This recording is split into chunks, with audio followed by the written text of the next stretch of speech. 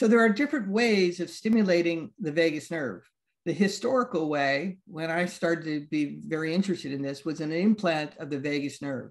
And in this area, you would you can see the small size of the vagus nerve that runs in the carotid sheath in the picture up on the right hand side here. And one would place the coil electrode around the vagus nerve, connect it to a pulse generator, uh, typically placed in the chest, and use that to, as a treatment for, in fact, epilepsy was the first one that was used.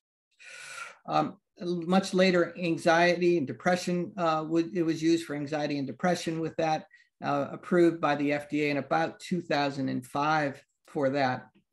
There's an auricular nerve stimulator, which gets to about 2% of the vagal fibers that run through the neck. And of course, there's the uh, non-invasive cervical vagus nerve stimulator, uh, which is what I spent most of my time working on over the last 20 or so years. I'm going to briefly cover headache, and I uh, know that we're going to have colleagues from uh, the Cleveland Clinic cover this, so I will just do it very briefly. Uh, um, migraine is a tremendous problem. It's probably the number two pain problem we see in the United States or around the world. 18% uh, of women, 6% of men. Uh, our military population is actually significantly more uh, disabled by migraines with the traumatic brain injuries. It can be as high as 80% of patients with traumatic brain injury or post traumatic stress disorder also have comorbid migraine. And we don't really have great strategies for treating that. So um, we embarked a while back on trying to figure out why. And it's kind of an interesting story of how we got here. I was looking at a treatment for uh, my son who had peanut allergies in how we could block the airway reactivity in an asthmatic or a peanut allergic uh, person. And while we were studying that, we figured out that headaches went away. And we decided to try to figure out why that was and work with Mike Oshinsky, uh, who's now at the NIH, who looked at glutamate production, which is the most prominent excitatory neurotransmitter in the brain. And it gets increases, and I'm not showing you that on this slide, but glutamate increasing in glutamate correlates directly with uh, ocular hypersensitivity or a model of migraine. And if you uh, you can see that the gold bar is increasing glutamate after the animal is um, given nitroglycerin. You stimulate the vagus nerve even 90 minutes into it, and you can block the production of glutamate or the existence of glutamate in the uh, in the uh, trigeminal nucleus, and it reverts almost back to a normal state here. So this is one of the mechanisms. A second mechanism was done up at Harvard where they looked at cortical spreading depressions. And you think about your patients with uh, migraines who have pain down, you know, may have a sensation going down their arm or may have a visual sensation or may have some other um, aura that comes up. And that is probably a cortical spreading depression, wave of electrical activity crossing the brain and vagus nerve stimulation slows the frequency of cortical spreading depressions, slow, uh, decreases the threshold, or I'm sorry, increases the threshold for cortical spreading depression and decreases the speed of cortical spreading depression. So altering the abnormal electrical excitability of the brain. An area that I thought was really interesting was uh, that they also showed a change in pro-inflammatory cytokines. And I want you to think about this as I talk about the rest of the day of why vagal nerve stimulation and electrical nerve stimulation, more broadly speaking, can work on so many different disorders from pain to from pain on to um, disorders such as a stroke or rheumatoid arthritis. It's this central mechanism of vagus nerve stimulation in modulating pro-inflammatory cytokines. Now, over the years, a number of studies have been done looking at this. There's the ACT 1, ACT 2 uh, studies that were done in the US and, the, uh, and, uh, and in Europe, looking at a randomized controlled trial of acute treatment of cluster headache. And what was identified in these studies that you could stop in a cluster attack within 15 minutes, about 50% of the time on the, on the paradigms we use today by using vagus nerve stimulation compared to a sham device.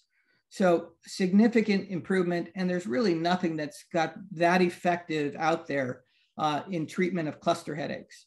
Um, prevention of cluster headache, you could block 50% of the cluster attacks coming on uh, by use of vagus nerve stimulation as well, it, up to 48% of the time if they actually use the device. Migraines, um, acute treatment of migraine, the best study out there was the PRESTO trial, looking at can we uh, stop a migraine from happening within two hours, which was the American Headache Society criteria.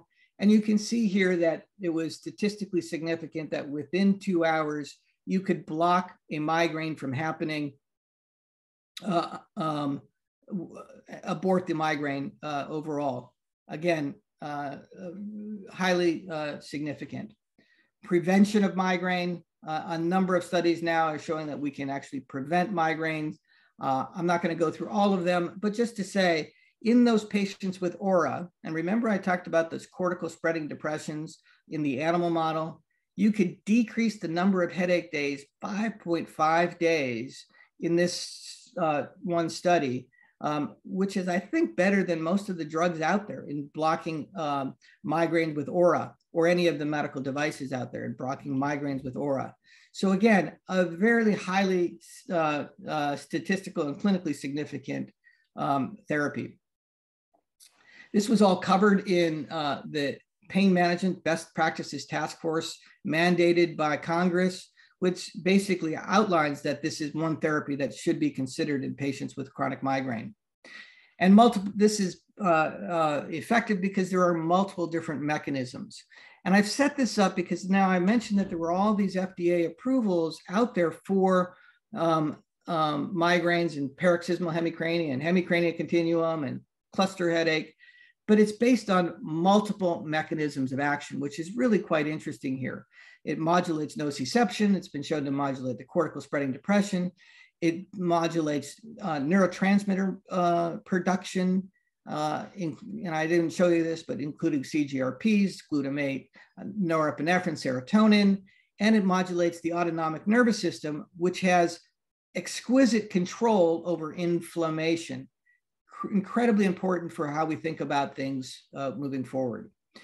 And as we start thinking about us in society, where we've been largely a drug society, I think you can see the geese flying south for the winter here. And this one uh, geese goose is up in the third window, and he's he decided to fly first class instead of going there. I think we need to think forward to other strategies and really think about new theories around this area. And I I am of the opinion that our whole view of neuromodulation is right now in the midst of a paradigm shift where we're going to be using neuromodulation much more broadly and effectively than we have in the past.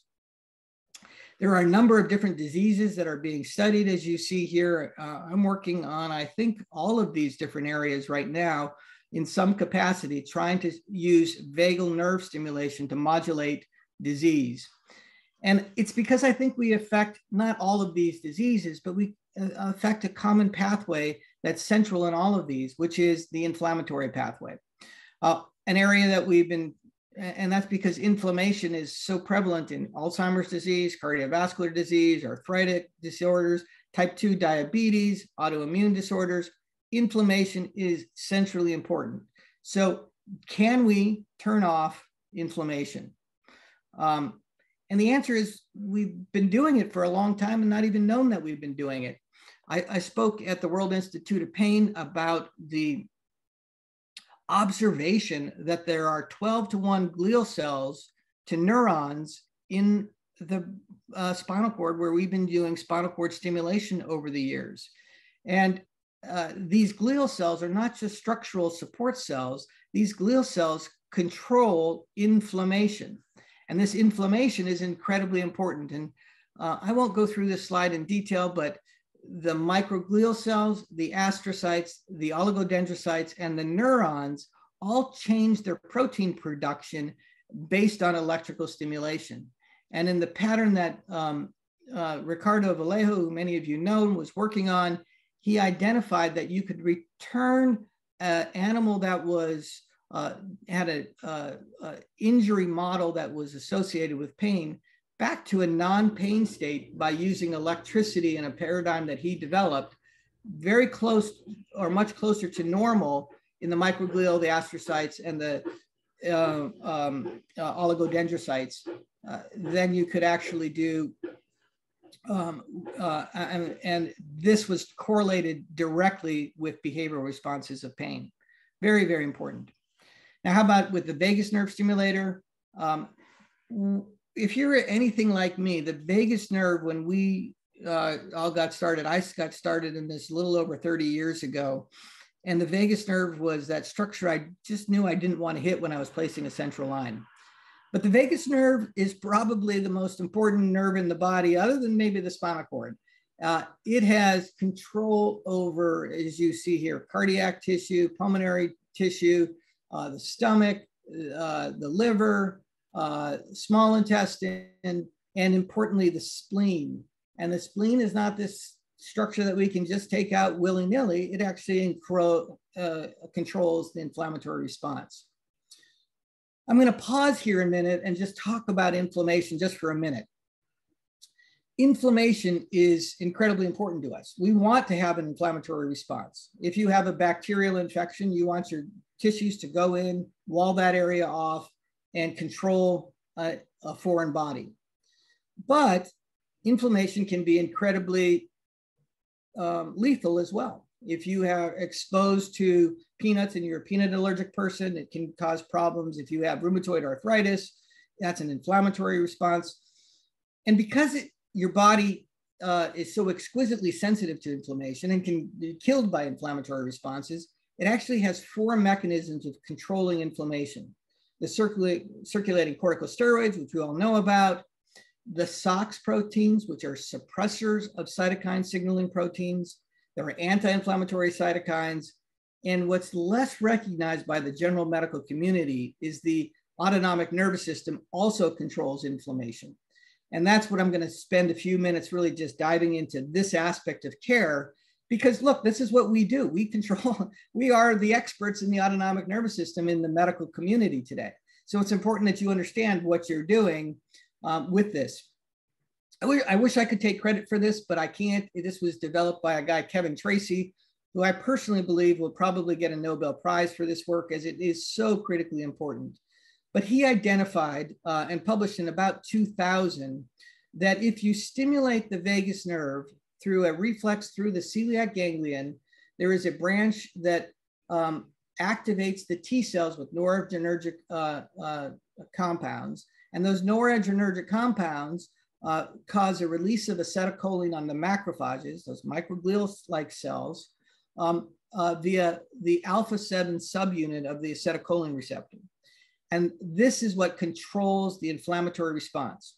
Now I'm showing you here the what's called the cholinergic anti-inflammatory reflex that goes to the spleen. It was the original one that was described, but there are multiple of these uh, reflexes. And the work that he did that was, I think, so groundbreaking um, was published in Nature in about 2000, uh, did, did a very interesting model. He took rats and he injected lipopolysaccharide. Uh, and if you inject lipopolysaccharide, first of all, if you do nothing to these rats, they don't have much TNF alpha, uh, which is one of these pro-inflammatory cytokines at all on the, on the far left bar. You really see almost negligible TNF alpha is you come over to the second arm here, you inject lipopolysaccharide and don't do anything to the vagus nerve, you have a robust production of TNF. It's a um, very uh, profound response that you can see, and that can be actually uh, dangerous to, to you. If you cut the vagus nerve, you have an increase over that um, sham plus lipopolysaccharide. That's telling you that your vagus nerve always has some intrinsic control modulating and dampening down how much TNF is uh, produced in, in response to an insult. But look at the far right here.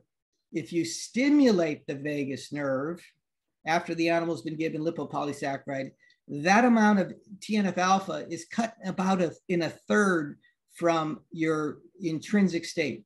I mean, uh, cut down two thirds to about a third of what it had before a really a tremendous response that gives us a clue on how we can address clinical entities that are associated with inflammation. Uh, Imanuel Lerman took normal human healthy subjects and stimulated them and stimulated um, uh, uh, with them with lipid polysaccharide, stimulated their blood, and took those same people and stimulated them with vagus nerve stimulation and showed you could block the inflammatory response in normal, healthy controls. And that's important, but not as important as disease. Um, over the last 20 years, there's been a, a, a, robust study of this. With the implanted device, uh, there's a group called with Setpoint Medical, which is a medical device company that makes an implanted uh, microvagus nerve stimulator. And they showed that you could decrease the um, production of TNF alpha with vagal nerve stimulation with an implant. Really interesting. On these are patients who with rheumatoid arthritis who failed conservative management. And you can see over time this had a significant improvement in their DAS 28 scores, uh, and that directly correlates with the vagal nerve stimulation. You turn off the vagus nerve stimulation at day 42, and you start to see an increase again of the TNF alpha. So it's doing something to block this production.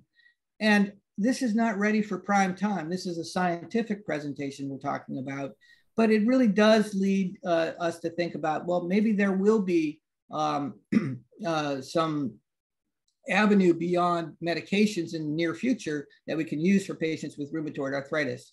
They did a, a, a follow up uh, uh, in July of 2020, and I wrote a little piece in the Lancet about this uh, paper, which I thought was very good, uh, showing that this is leading towards a pathway uh, in an RCT around vagal nerve stimulation, looking at different doses. I'm not really going to dive too deeply into it. There's too much others going stuff going on. Um, a group uh, uh, out of the UK looked at Sjogren's disease, and the big problem the patients with Sjogren's have is fatigue. And they showed that with vagal nerve stimulation, you could improve IL-6, IL-1 beta, IL, IP10, and you can see here, and that also correlates highly with an improvement in fatigue. So again, highly interesting uh, clinical relevance. And we think about our fibromyalgia and our chronic fatigue patients, and maybe there's an avenue there. How about inflammatory bowel disease? Inflammatory that bowel disease is relatively poorly treated. Um, and um, we can see here, I mentioned that the classic cholinergic anti-inflammatory pathway was the spleen, but you can see here also a branch that goes down to the bowel as well. And there are in the bowel, um, the vagus nerve has direct impact on the mesenteric plexus, which modulates the macrophages, which modulates T cells and FOXP3 cells. FOXP3 is a good thing if you can increase it, and that's what it does and it depresses the uh, uh, T cell act, action as uh, regulatory T cells. And that correlated in Bruno uh, Bonaz's uh, paper on active disease progression in patients with inflammatory bowel disease. Now, again, he did this study in patients with an implanted device, in patients who were failing all me uh, mechanistic approaches, and six out of seven of their patients had a significant improvement with vagal nerve stimulation. Interesting, um, in the model that he was using was an implant. And I think interestingly, we probably can do a lot of the same things with a non-invasive approach. Um, work out of Emory University looked at post-traumatic stress disorder, a double-blinded, randomized crossover trial or uh, with long-term extension trial. I'm just going to talk for a moment about the first three months of the trial in patients with post-traumatic stress disorder this is an area that I'm spent a lot of my time thinking about and trying to work with our wounded warriors here in the United States who have come back and they have uh, a post-traumatic stress disorder. And he identified that he could take this population of patients and compared to sham, improve the autonomic scores, improve the PTSD checklist score, which is a, uh, a disease severity index. And he identified, interestingly, that you could block the production of IL 6. Thematically, I keep coming back to this. It's IL 6 overproduction is part of what's occurring in patients with PTSD. IL 6, you'll hear about in a moment, is what's killing people with COVID. Um, and uh, over a three month period, also uh, significant improvement as well. So, what he found was significant improvement in behavioral responses, um, neurobiology, and I'm not going in through all the autonomic uh, aspects that he showed, but the IL-6 was really quite interesting. Parkinson's disease. Okay, I know I'm segueing between a lot of different things right here, right now, but Parkinson's disease is an area where when we think about what we do, there are certain drugs that we can use, and then we jump directly to deep brain stimulation, right? And um, a group also out of the UK and India um, looked at uh, vagal nerve stimulation in Parkinson's, a double blind, randomized crossover trial, 30 day washout period looking at function. And I draw your attention over to the left. The patients, um, first, I should say, what kills people with Parkinson's? It's typically their gait. They ambulate, they can't turn quickly, they fall, they break their hip, and they, they die from consequences of that. And so, what they looked at in this study was step length, velocity of step. They didn't really um, look at this, but I saw the videos of this. Is, you know, the ability to turn and, and do fine motor or gross motor movements of ambulation and turning and walking around. Um, and they also looked at stance time, improvement in stance time with this, and clinically significant improvement. But what did I talk about? Those pro inflammatory cytokines significantly decreased in patients with Parkinson's disease, highly correlated there. Glutathione, which you can think of as a scavenger of inflammation, increased. And uh, interesting, uh, BDNF, kind of a disease index of disease, was also improved. You want actually good BDNF, high BDNF, and that was significantly improved in active versus sham.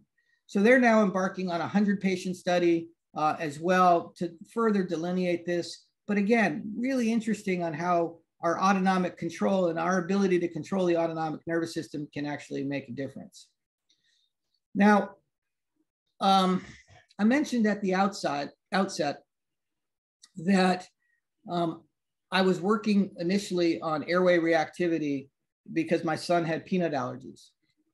And I had done a series of studies uh, in patients uh, with obviously with collaborators who are experts in asthma, looking at vagus nerve stimulation in airway reactivity. And we actually had some pretty good data that patients with airway reactivity could have a decrease in um, uh, bronchoconstriction, improvement in work of breathing with vagal nerve stimulation. And I just went through with you Kevin Tracey's work on blocking the cytokine reaction. And I we knew at COVID that what was killing people, in fact, work out, early work out of Wuhan, China showed that patients with an IL-6, I think it was greater than seven or six or seven, had 100% mortality. Those who had an IL-6 of less than five all lived. So it's not COVID that was killing people. It was this cytokine reaction that was killing people.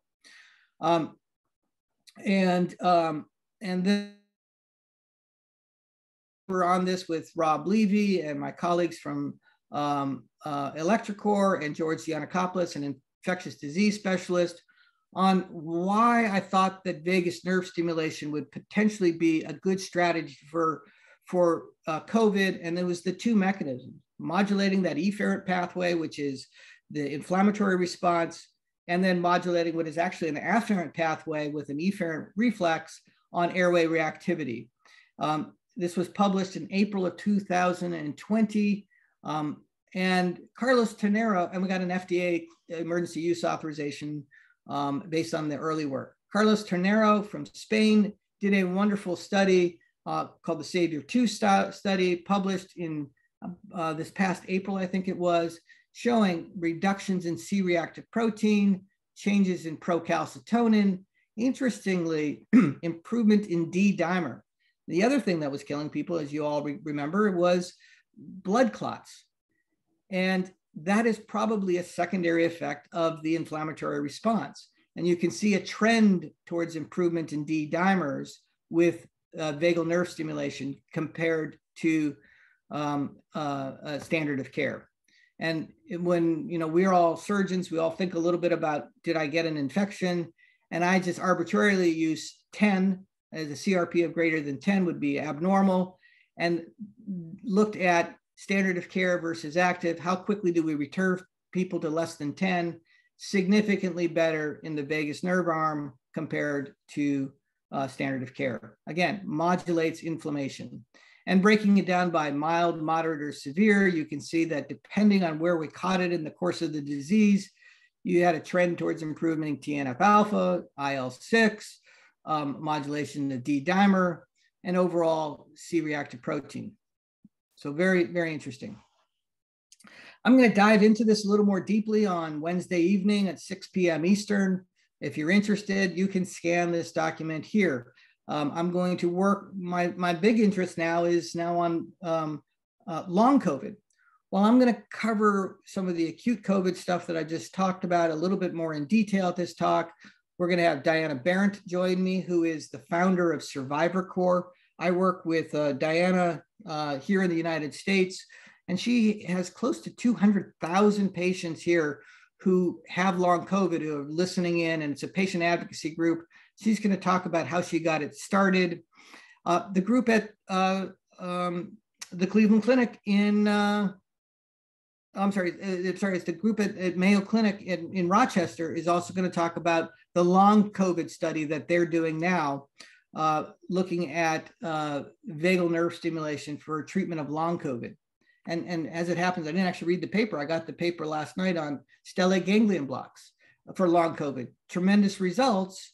And you think about the autonomic nervous system and the yin and the yang here.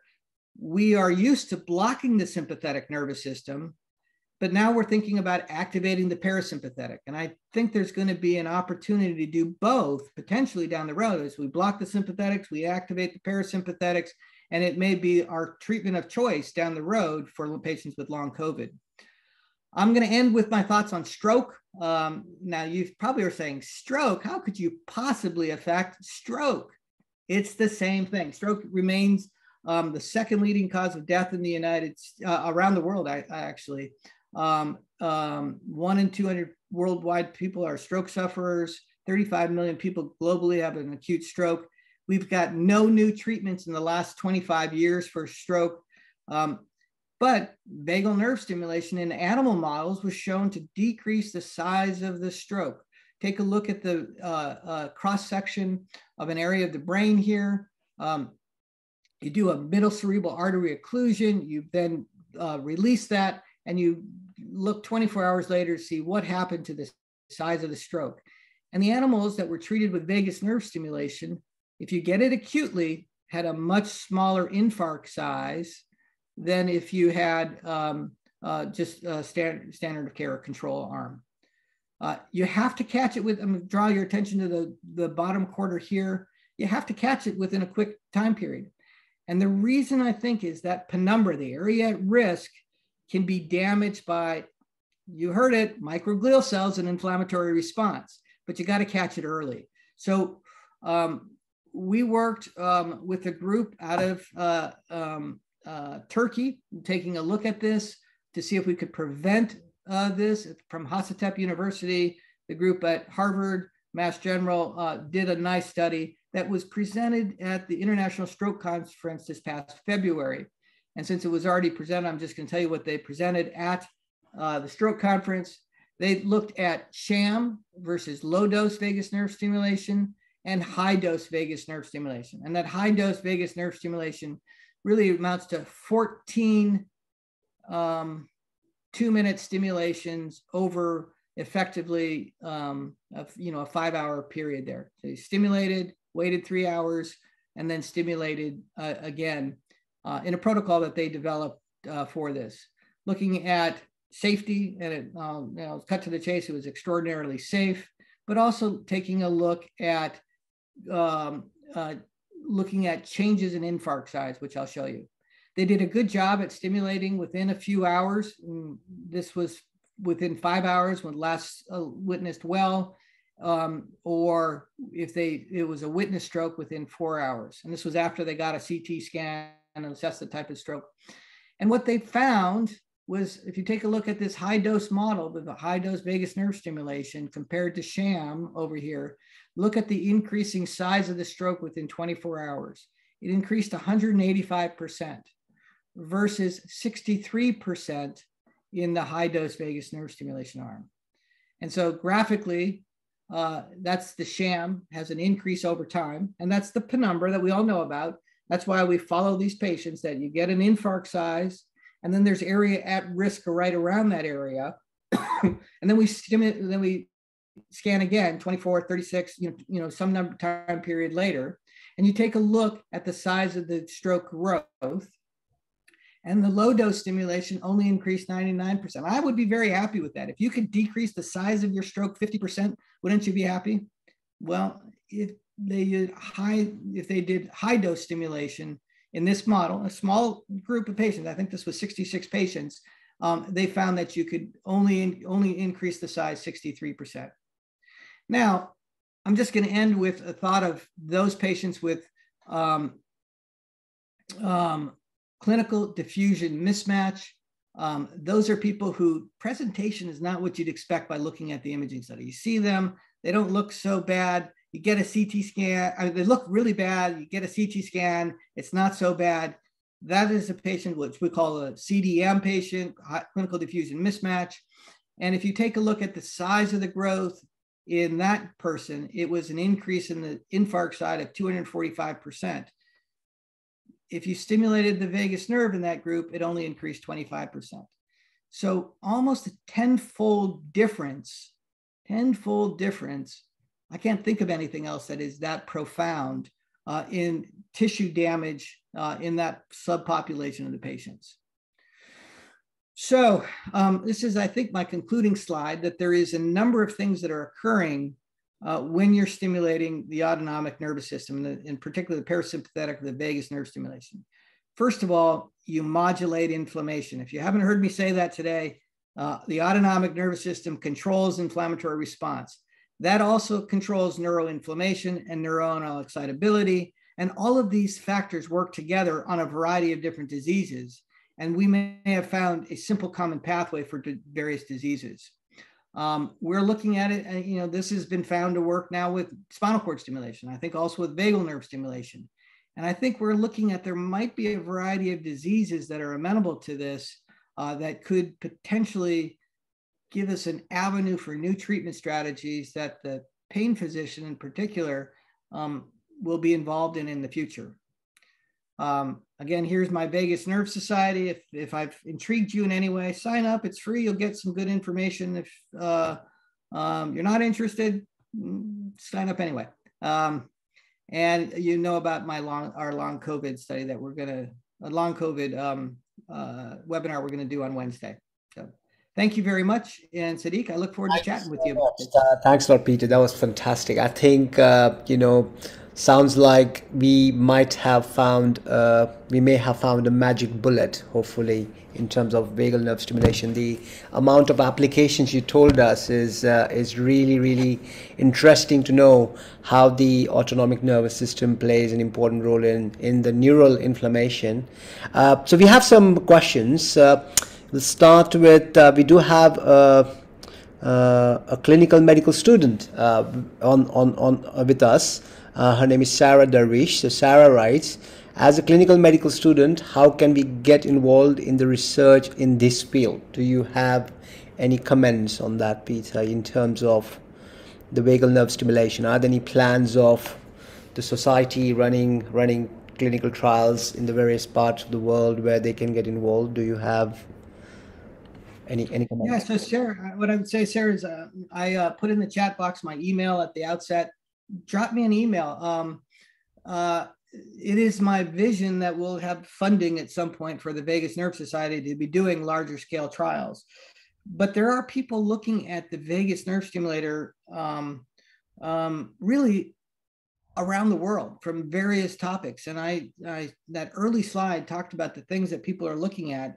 And what's really intriguing and fun for me is I think I'm an expert in pain. I, I, think I know about pain and I know a fair amount about neuromodulation, but I am certainly no expert in all of these different diseases. But people who are the top of their field are coming out of the woodworks and, and you know approaching uh, the Vagus Nerve Society and me personally because I have some experience in this because they've stumbled onto the fact as well that the vagus nerve controls a variety of different aspects and this is an inexpensive a um, low risk approach for treating different disorders. So jot me a note and tell me where you live, and I will um, uh, try to connect you with people who are working on these topics. And uh, again, this isn't this is part of the future of medicine, in my view, and it creates an opportunity. So I think you're wise to get engaged now while you're young and enthusiastic and got a lot of energy, and follow what happens over the years. That is true. So I think Peter has written his email address, peterstaats at hotmail.com. Sarah, drop an email to Peter. I'm sure he'll help you out. Uh, another question do we, we have here, Peter, in terms of uh, vagal nerve stimulation for demyelinating disease like multiple sclerosis. Have you come across any studies? Do you think there is uh, any role of uh, VNS for the that kind of neurological condition? Yeah, I'm going to start with I don't have any specific um, studies on demyelinating disease like MS, but I would say we need to stop and we need to think about what people are doing for multiple sclerosis. Um, you may know, and it, it sounds completely unrelated at this time, but they're doing things like fecal transplants for multiple sclerosis. Mm-hmm. I don't know if people know about that, but that's kind of an interesting thing that people are doing. And you have to ask the question well, why would you do that? And this is an observation of the gut brain interface. The fact is, how does that information of the gut microflora change get to the spinal cord or the brain in areas of demyelinating disorders? Well, it's the vagus nerve. So I think there's reasons to think about that. And we also know that some of the demyelination is probably coming from an excess of inflammatory response. So we have that bit of information. But uh, it's not ready for prime time yet. And I think that's an area that's ripe for some neurologies. And I've spoken with a few neurologists about this who are interested in doing that work, but that's that's a that's a challenging uh, thing to do. Uh, but it's probably a worthwhile thing to consider as a add-on. You know, if you're treating a patient with gamma interferon, which is an anti-inflammatory, you it makes sense that something like this might be an effective therapy. I just don't have the data to say, yeah, this is a good idea or bad idea.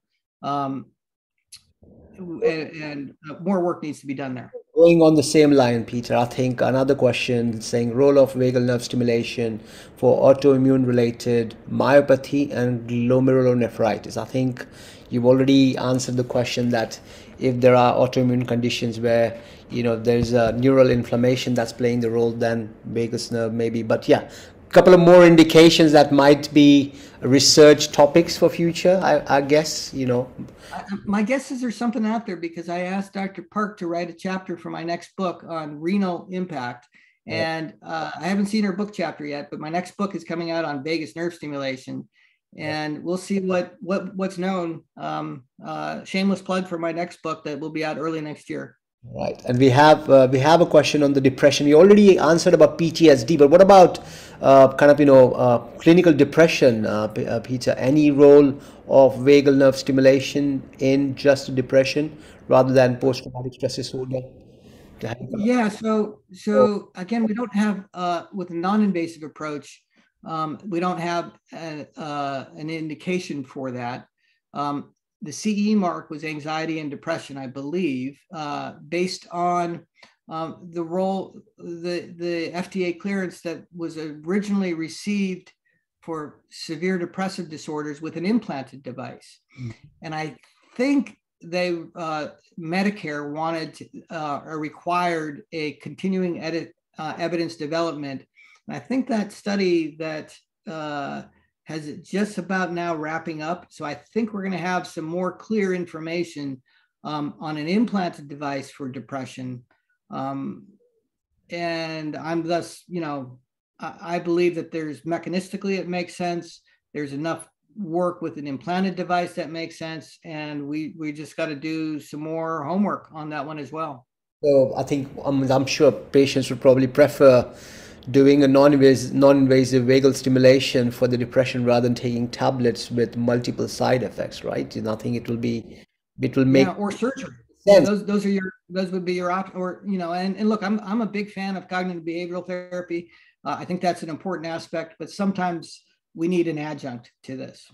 A lot of times patients uh, do need a bit of a push. I think it's like jump starting the car where they need some help in terms of the medications or the device which will allow them to then participate or engage in the cbt and in the psychological kind of you know interventions. So makes sense. Right.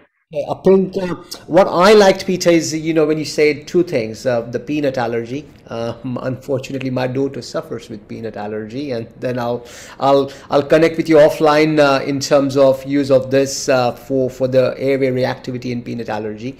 But the second thing was the PTSD and uh, you know stellate ganglion blocks. We've been doing them, and obviously there are there are lots of centers I think that we established in in uh, Veterans Hospital in the US where they're teaching people how to do stellate ganglion block for PTSD.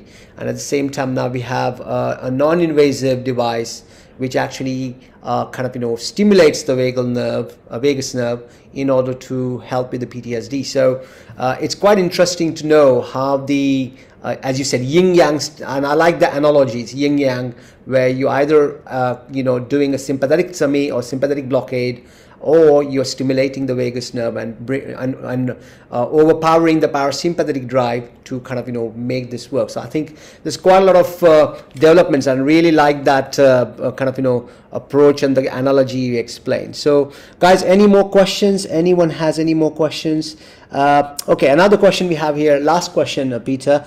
How can we train on technical aspect of vagal nerve stimulation user technology or equipment? Any uh, comments on that? Yeah. So first of all, you you can come to me offline and I'll talk to you about that. Um, but it is really pretty uh, not very technical for the what we're using now for most of the vagal nerve stimulation. It's a little device. We place it over the neck with a little bit of conducting gel. Turn it on. Uh, we have to train our patients on how to do it. It doesn't require an implant. It doesn't require surgery anymore. Uh, and I'll I'll refer you to some videos uh, that are up on the web on how to take a look at that. Um, uh, electrocore.com has a video. If you just look at that, it'll show you basically what's involved. E L E C T R O C O R E, electrocore.com, and you can find videos on it.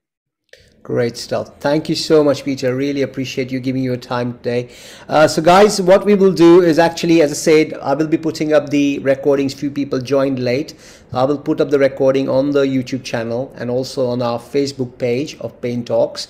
And uh, also in regards to uh, uh his upcoming webinar, I will be putting the QR code with the I've taken a snapshot of the of the of the uh, uh, slide which I'll put up. And so do register. I think uh, it's it's a it's it's a, it's a, it's a, a very uh, kind of a great technology and also vagal nerve stimulation field. I would say it's a field now. It's a it's a field which has many many applications and we have to watch out for the space. And I'm sure I will look forward to read your next book on the vagal nerve stimulation, uh, Peter, and all the very best with that. I'm sure it will be another great uh, great hit. So thank you so much.